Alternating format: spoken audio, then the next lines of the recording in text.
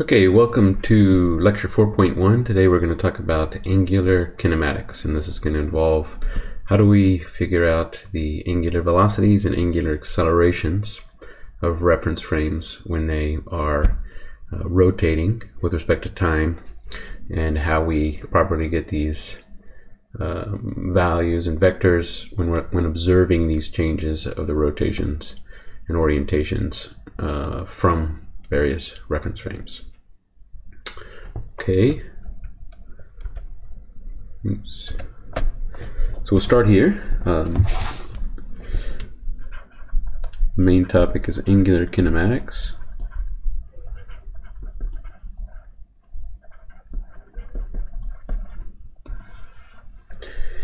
And um, like I said, we're going to think about uh, reference frames that are changing orientation with respect to time. So if I have here a reference frame that is A, for example, with mutually perpendicular unit vectors,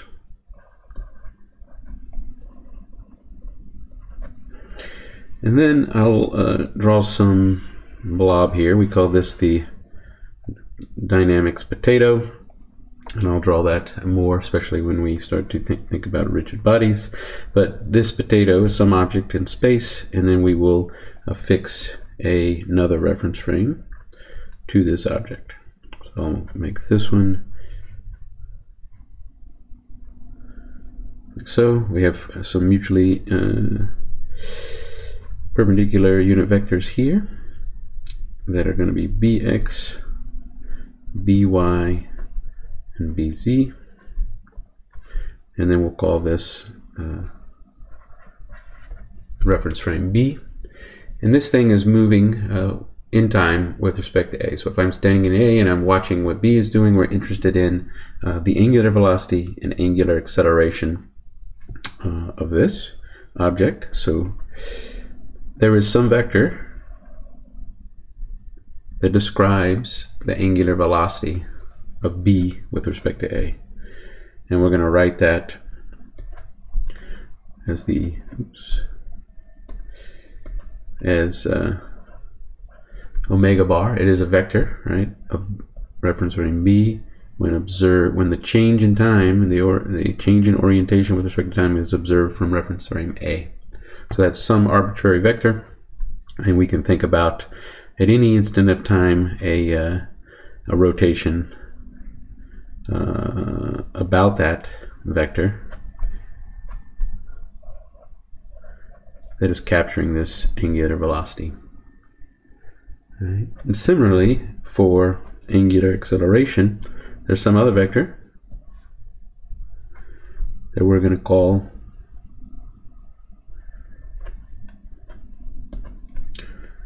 alpha of this reference frame B when the change in time is observed from reference frame A. so these two vectors we're interested in calculating and we're going to learn how to do that here.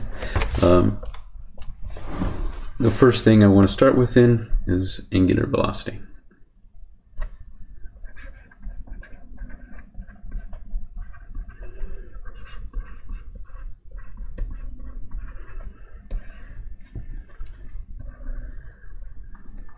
So um, we're going to introduce the definition of angular velocity.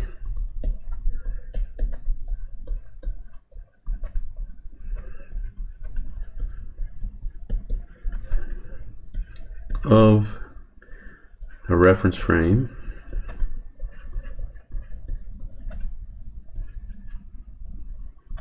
B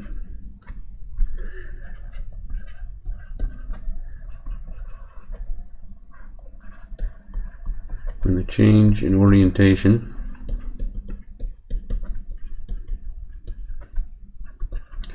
is observed from A.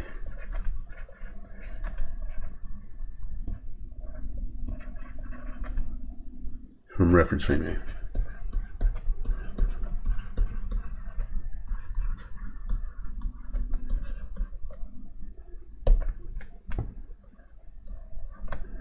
So mathematically, the definition of this angular velocity of b and a is defined as the time derivative of the by unit vector when observed from A dotted with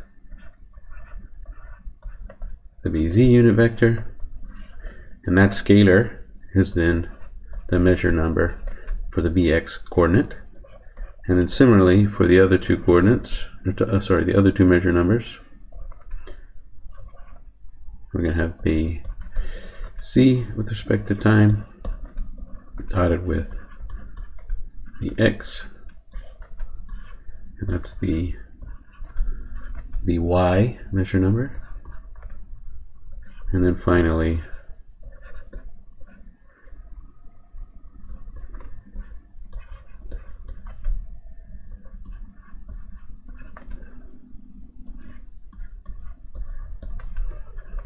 we have this. So this is the definition of angular velocity, and I'm covering it up with my uh, uh, screen, so let me move that.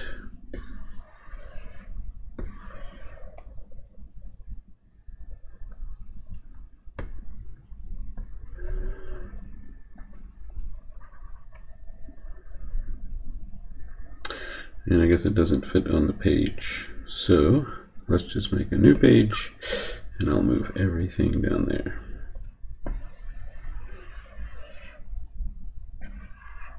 didn't get everything.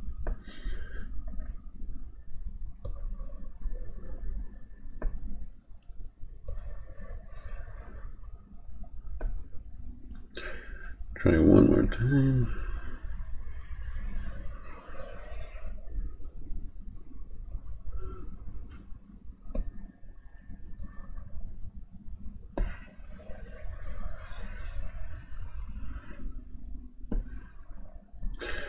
All right, there we go. That is now readable. So there's our definition of angular velocity. And you can uh, read my online notes and read uh, Kane's uh, 1985 book 2 to get a little more information on that. But um, the key thing that uh, for practical use is that we can apply this definition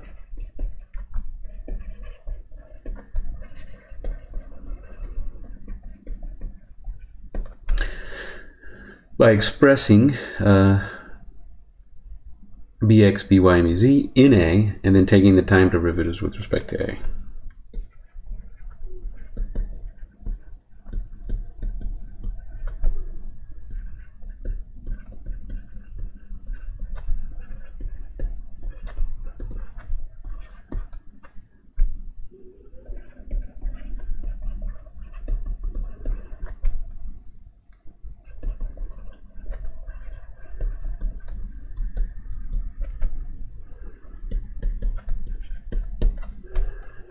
All right. And note that, uh, you know, I say the word expressing and then taking the time derivative with respect to A. Those two things are not equivalent, right? You can write any vector and express it in any reference frames, uh, mutually uh, perpendicular unit vectors. But when we're observing the change in time from a reference frame, we're going to be taking derivatives. Okay, so expressing a vector in a reference frame and taking a derivative with respect to a reference frame are different things. And you're going to have to keep that in mind as you move forward. But let's do something simple here. Right, if I have a bx and I know that I have a time varying measure number a1 and I can express bx like so with a1, a2, and a3 all being time varying measure numbers. Then the time derivative of bx with respect to t in when observed from the reference frame A is this, which we've already learned.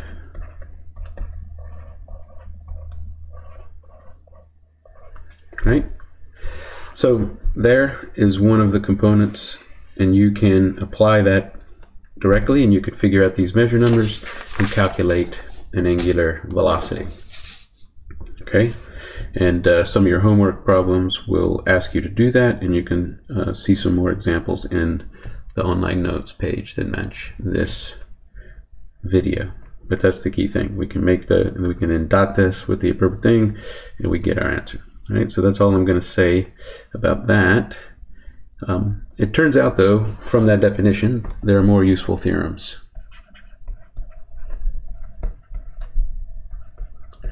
that uh, are a little easier to use and a little more helpful than applying the definition directly.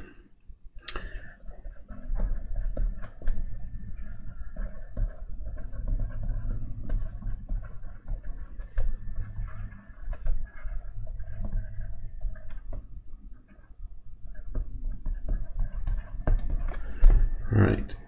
So I want to take a motivating example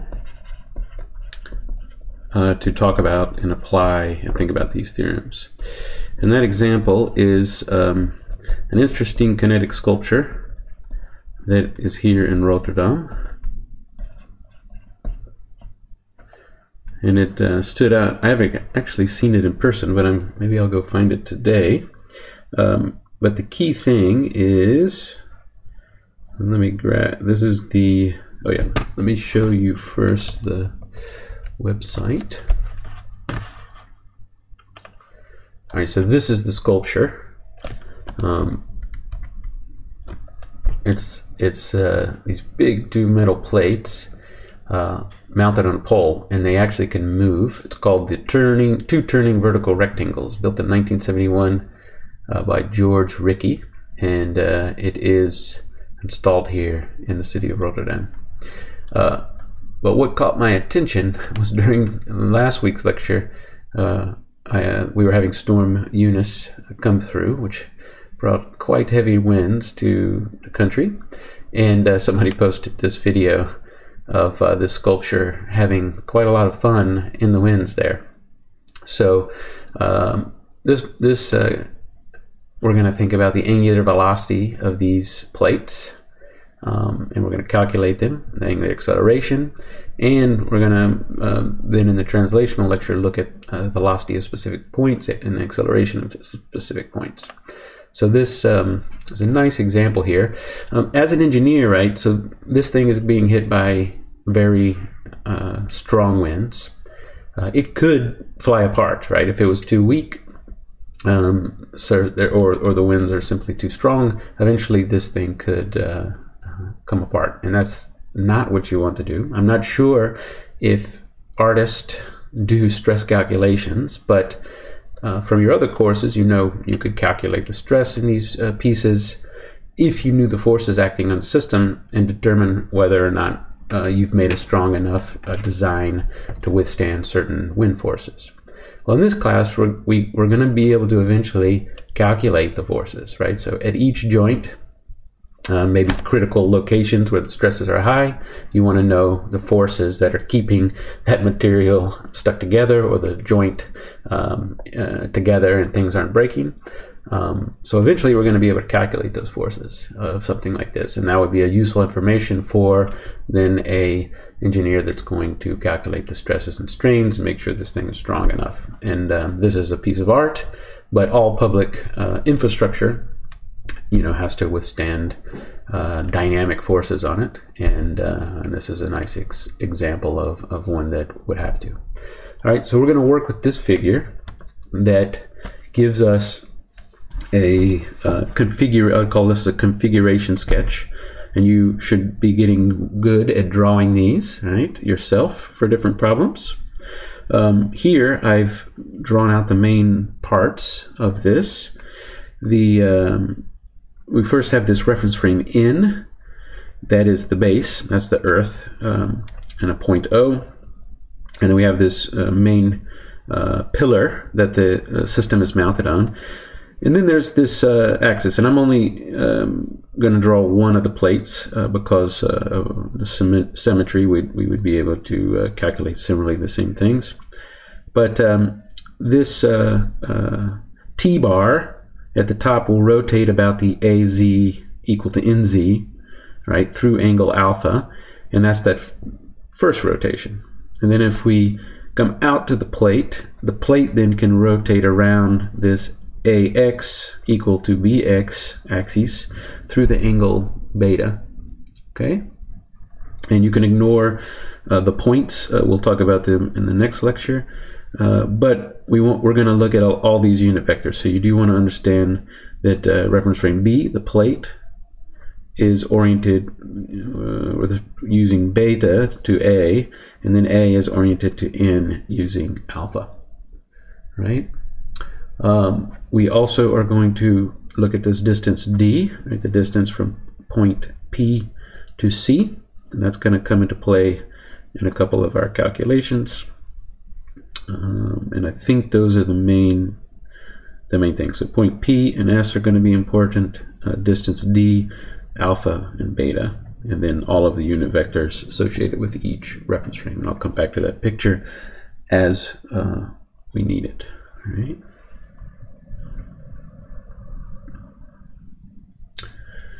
So we have this uh, kinetic sculpture, and um, I think it is helpful to let me just bring it bring a copy of it down.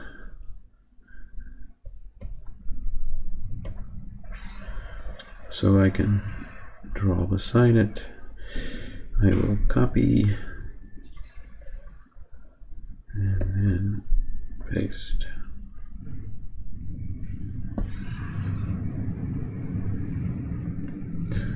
Leaves me enough screen real estate.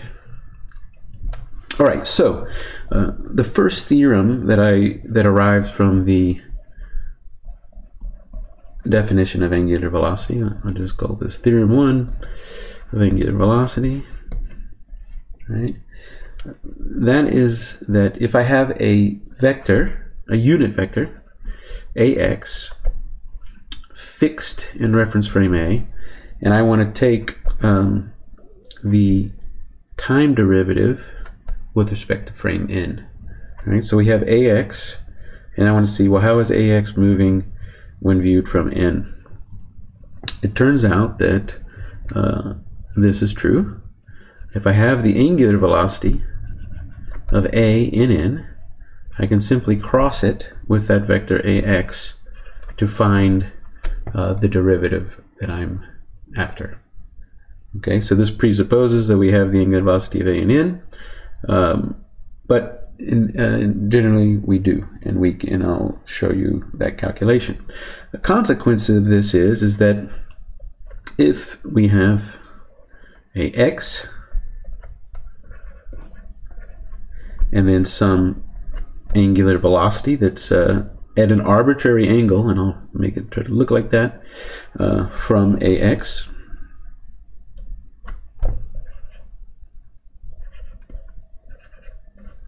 All right.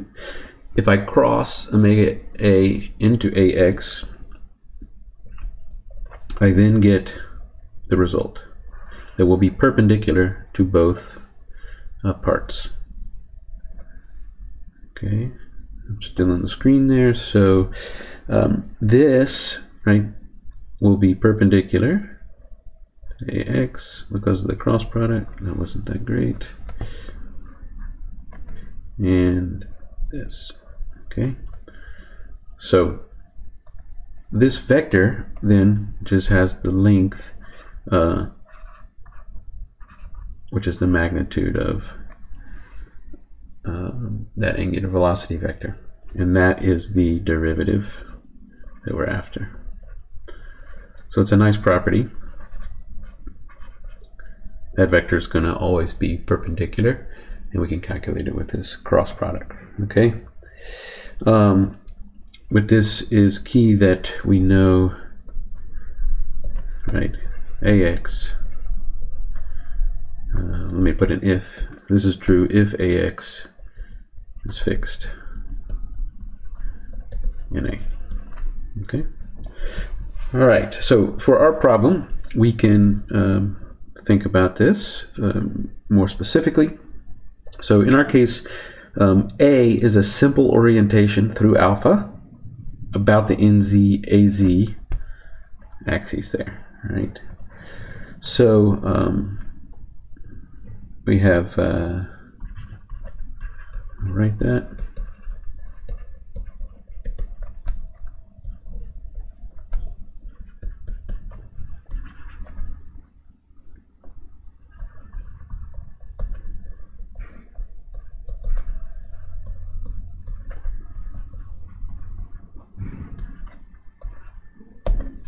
through that angle alpha. So for simple rotations like this, simple orientations, uh, the angular velocity vector is also quite simple. We then know that this is going to be uh, alpha dot in z, z or alpha dot az, right? They're both az and nz um, are the axis we're rotating about. If you apply the angular velocity definition, um, very carefully, uh, and I do that in the online notes, you find that this is true. So um, we can now cross that to get our derivative.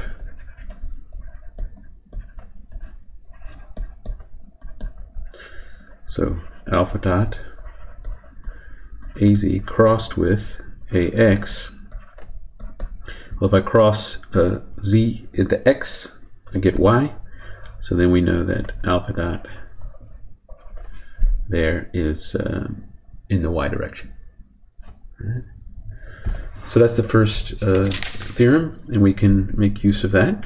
This extends nicely to uh, if ax is an arbitrary vector that's also fixed in A, um, we can come up with theorem number two. So the second theorem for angular velocity two is that um, if we have a vector uh, fixed um, in A, and we're going to choose a specific vector for our problem. I'm going to take the position vector from P to S. Okay, if I come back up to my figure, P and S are here. We see that uh, P and S, this vector from P to S, is fixed in A, right? It rotates with A, so that's fixed in A. And uh, we can describe it by the distance D times the negative AX unit vector, right? So it's in the opposite direction, so we'll do that. So vector D AX, like so, and then D uh, is constant here. Uh, so that vector is fixed in A. And if it's fixed in A, then uh, we have a similar uh, nice result. And that means that the time derivative of a vector fixed in A, which are from P to S, is 1. If I take the time derivative and I want it in the in frame, then this is true that the angular velocity of A and N crossed with that vector R from P to S. So that's nice. Uh, we can then apply this uh, just like we did before. Um, we have a, a, new vector here. We already have our angular velocity of A and N, which is alpha dot AZ. So we can put in an alpha dot AZ. Cross that with our negative AX. And if we do that cross product correctly, we're going to get that the direction is in the negative AY. So we're going to get, and we have these two scalars, so we get D uh, times alpha dot in the negative AY direction. Okay, so that's theorem number two. We can calculate the velocities of fixed vectors, any fixed vector, um, and a unit vector like ax is 1 uh, with these simple cross products. Okay, so that's quite nice. All right, well, what if the vector is not fixed in A? So we're going to then have our third theorem.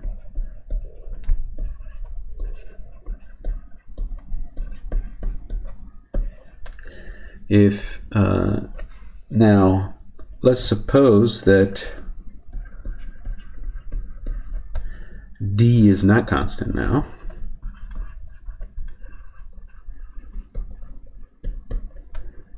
All right, so d is going to be a function of time in this case. Uh, if we come back to our figure, this would mean that d could open up or close, like so. It's maybe you would uh, you imagine a sliding joint on the top of this t, and the and the plate could you know move away from the nz axis.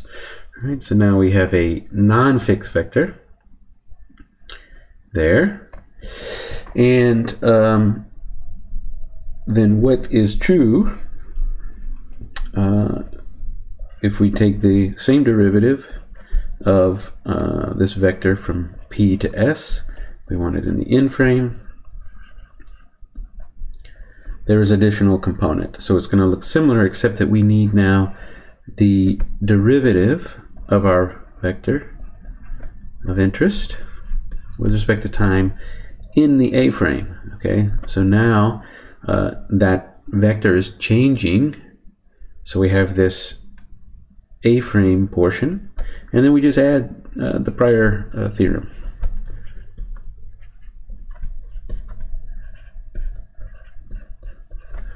So this term here accounts for the fact that uh, R is now changing when viewed from A also. So if we apply that in our case, um, we remember we still have the same vector uh, or position vector. If I take, let me just write that down again so remember, right, this was negative d in the a x direction, right? So um, this term, now that d is changing in a, but a x is not, then we know that that first term, I think I need a new page. That first term then is going to be d a r p to s will be negative d dot, right, ax. Okay, and then the whole derivative in n, we just add our prior result.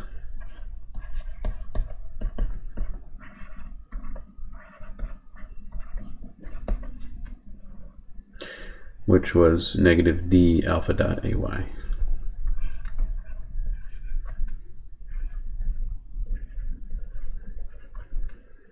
Okay. So this was, uh, as again, this vector is uh, um, not fixed in a, in A. Um, it changes in A. So we have to calculate this derivative term with respect to A plus the term, uh, the omega crossed R term there. So that is our uh, third theorem that we've applied.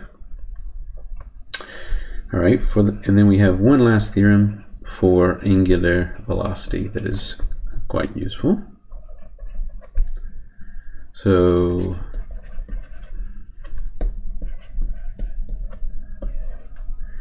this one is that if I want to know the angular velocity of b in n, and let's go back up and look at our figure.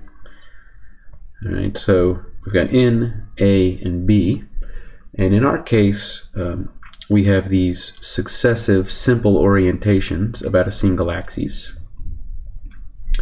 And if we're interested in the angular velocity of b, the plate in n, but maybe um, because we have these simple orientations, it's very easy to find the angular velocity of a in n and the angular velocity of b in a. Well, it turns out that this is true if we then have the angular velocity of a and n, we simply have to add the angular velocity of b and a to get the one we want, right? So these, right, are tied to some successive orientation relationship that we showed there, and then um, we can get the values that we want there by summing them. And this goes, you can extend that summation right, for as many successive orientations as you want. And it's usually easier to come up with these uh, simpler angular velocity vectors and then just sum them up to get your final one. Yeah.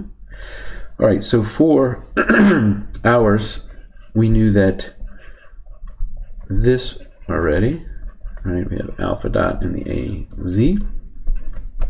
And then uh, similarly, easy to calculate, B and A is going to be beta dot about the A x-axis. Right? So if we apply our formula here, this is nice and easy. We can write that like so.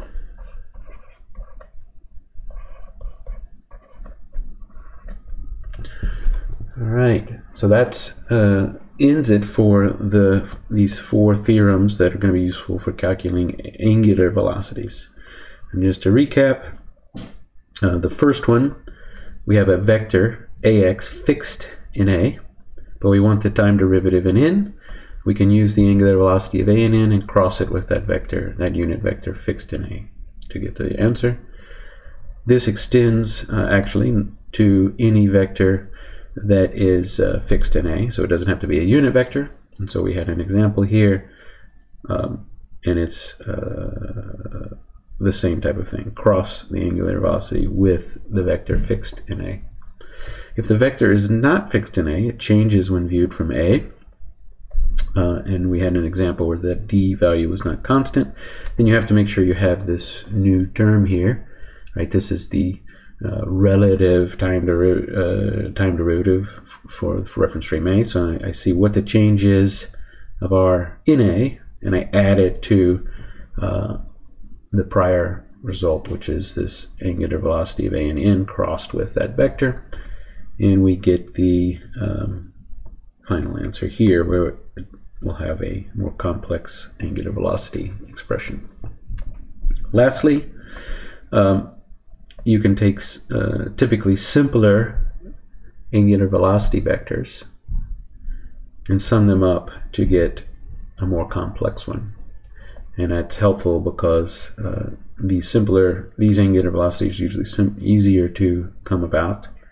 And then you can sum instead of trying to formulate uh, the angular velocity vector uh, for some complexly oriented bodies. All right. So if you have Euler rotations of three, you can add up those three angular velocities to get your uh, angular velocity associated with the Euler rotation, for example. All right, so that was angular velocity. Now let's introduce angular acceleration.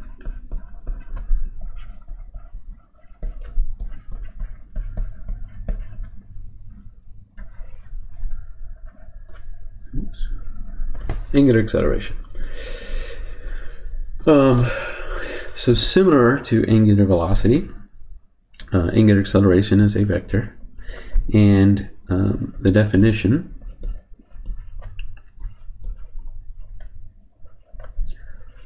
of the angular acceleration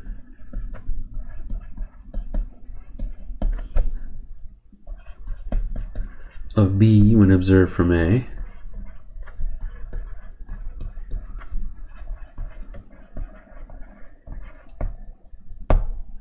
is going to be this. We're going to use alpha bar as that vector. So A and in, and sorry, this was supposed to be in. Oh, no. Actually, I screwed up both of those. Definition of angular acceleration of A when observed from in. Sorry about that. Is going to be alpha bar of A with respect to in. And we define that here as the time derivative in n of the angular velocity vector of a in n. And that's it. So we need to take that derivative of this vector, omega a and n, in the n frame to get our, our angular acceleration vector. So back to our example, we recall that the angular velocity of a and n was simply alpha dot in z, or can be written as alpha dot az because those are vector. That's the shared unit vector uh, for that simple rotation. And if I then uh, take the derivative of this in n, and I'll use uh, alpha dot and z in z.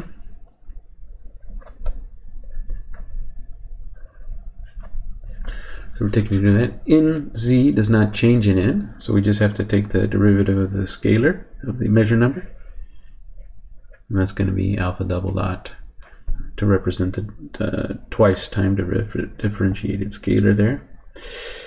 Uh, and that's also in the in z direction. So that's pretty straightforward. All right.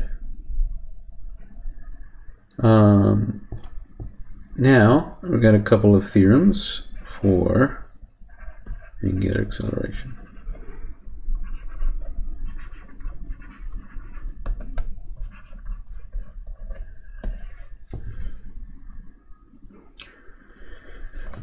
Okay, so the first one is that if I have these reference frames A and N,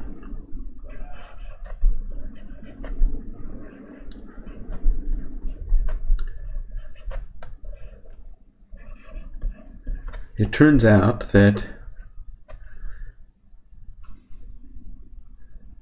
this derivative in n is equal to the derivative in a.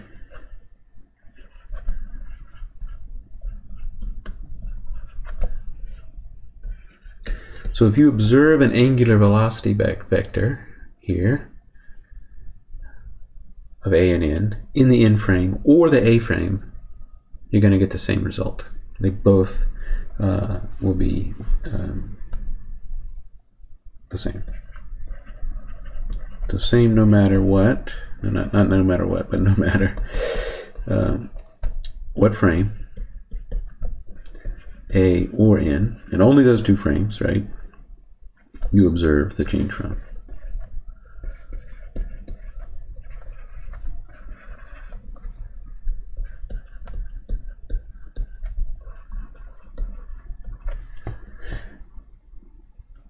So um, we can see that with our simple example here. If I take d a in, but now take it in the A frame, well, I would express that in the A frame to make my take my derivative. So then that's going to be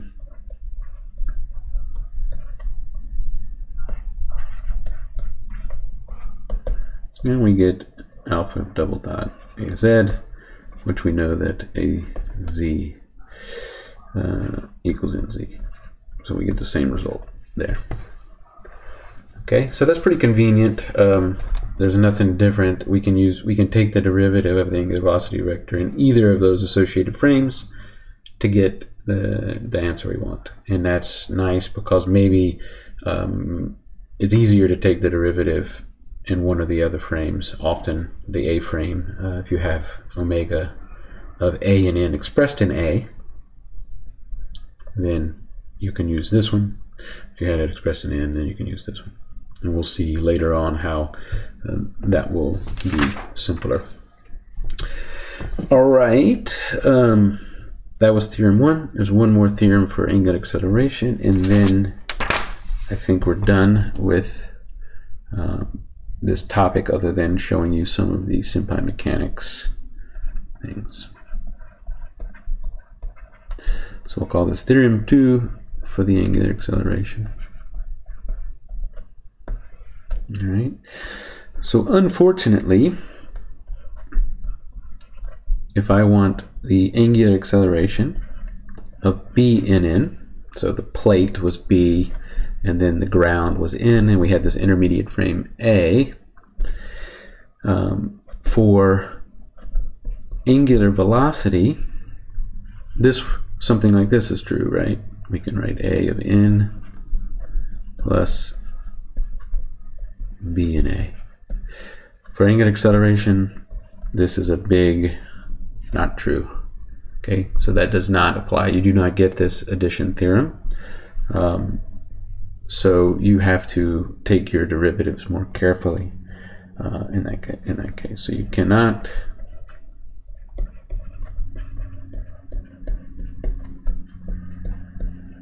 sum angular accelerations.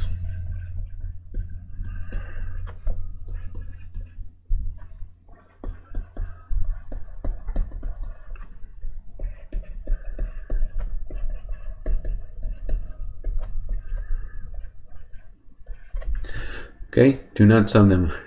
You will not get the right answer. And I'll give you a, a demonstration here from our example. We know that uh, this is true already. A and N uh, is alpha double dot AZ. We just calculated that. Similarly, if I write alpha, beta, I'm sorry, alpha of B in A, um, we would get the same kind of result. It would be beta double dot, and this would be about the bx or the ax, the shared um, axes there. I can express this angular velocity vector in the B frame, and that would look like this.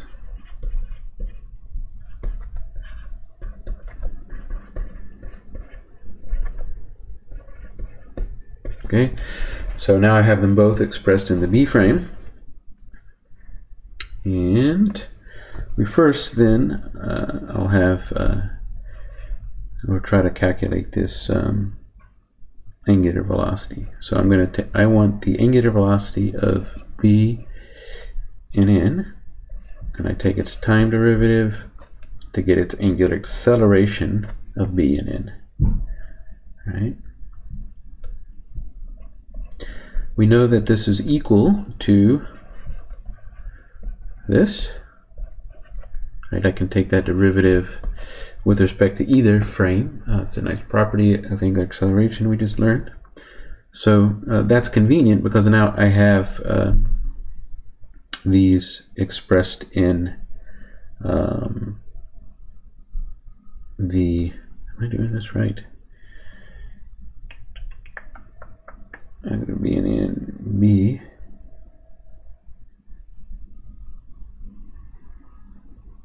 Oh yes, I'm doing this right. So let me just put this reminder up here. So I can write I have uh, I can write these. Um, uh, and actually, why I'm getting confused is because I haven't written down omega of b and n and uh, we had that we had already calculated in, in the angular velocity section. So we know that the angular of b and n is alpha dot a z plus beta dot ax right? So we can write that in a uh, uh, in the a frame. And um, the do do do do do do do. I think I wrote. Man, why am I getting confused? Did I write this wrong in my notes? It's being in. I want to take uh, the angular velocity in B, express it in B. Oh yeah. All right, I, I'm clear now. So we have this expressed in A, and um, I want to express omega of b and n in the b frame because I want to take the derivative here in the b frame. So that's where I was getting uh, a little confused on my notes. It's okay. So let's do that. This would then look like alpha dot sine beta in the by direction and uh, plus alpha dot cosine beta in the b z direction plus beta dot in the bx direction. Okay, so I've, I've taken the angular velocity of b and a, which we already found out uh, earlier from the summation theorem. We expressed it in a, though. I can also express that in b, and now I can take the derivative easily with respect to b because I can just take the derivative of these measure numbers, right? So let's do that. Like that is that term. And I have space here. So d n omega b and n dt equals the time derivative of this here, right? what is that? It's a little nasty. Do the easy one first. Beta double dot bx, yeah. And then we have uh, these multiplicative terms here. So we're going to have to apply the product rule. So we'll, for the by term, we'll get an alpha double dot sine beta plus a alpha dot sine beta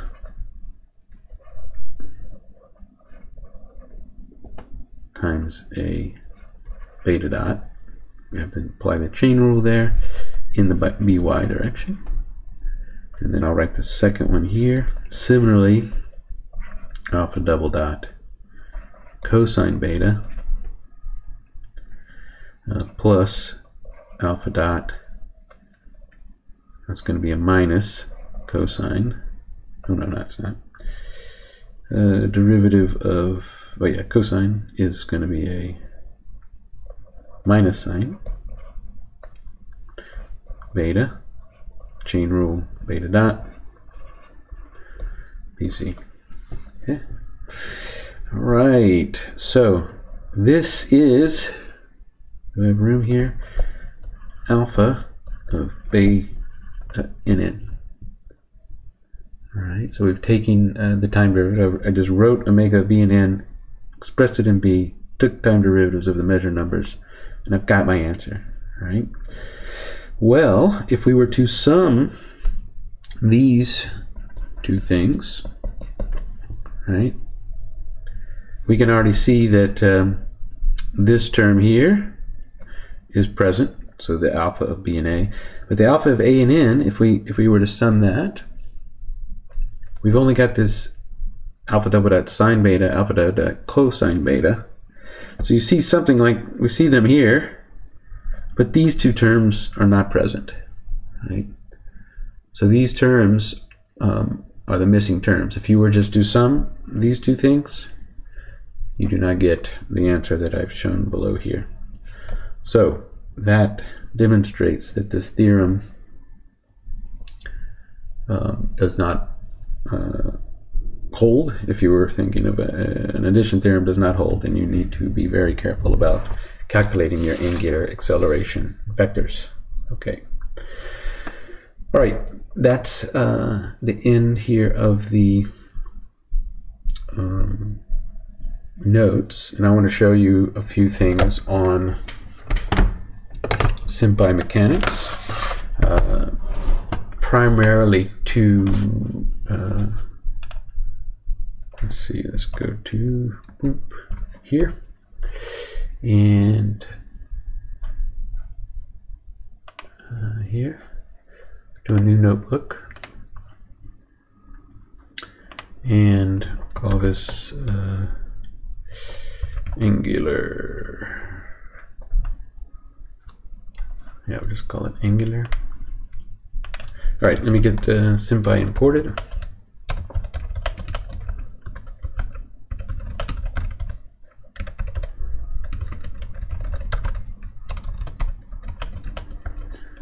And I'm going to use the init vprinting function here from mechanics so that we uh, uh, get the dot instead of doing a DDT, we get the dot notation. Right. Okay, so to set up our uh, system, we have these reference frames. And then I'll use the quick form here, uh, a b equals sm dot symbols uh, in a b and then class equals me reference frame. All right, there's the reference frames. We have these uh, simple rotations that we can set up among them. And uh, a dot orient axis relative to n. Um, oh yeah, we need some variables first. Let's do that. We had alpha, beta, And then let's go ahead and make d, and I'll make it a uh, time varying variable in this case. So we make them all dynamic symbols to make sure that they are time varying to see if we get the same result as before. Now I orient my reference frames. A dot orient axis relative to n through angle alpha. And this one was about the uh, shared z-axis. And then I'll do b dot orient axis relative to a through beta. And that was about the shared a axis, a x axis, right? Oh. All right, so I have my orientation set up. The primary new functions here that are useful, um, if I do uh, a dot angular velocity in reference frame in, it'll calculate that angular velocity. And I have a alpha dot in the in z direction, which is what we found before. I can take that uh, derivative and um, express it in the A-frame and I should see that we have these uh, same uh, terms there. Right? This calculation um, applies the definition of the angular velocity. So if you have orientation set up, the angular velocity would be calculated properly. Now, um, we also had angular velocity of v and a, which is simple. And we know that the angular velocity of a and n plus the angular velocity of b and a right is just as a simple summation and I can also just simply ask for b in n and I get my um,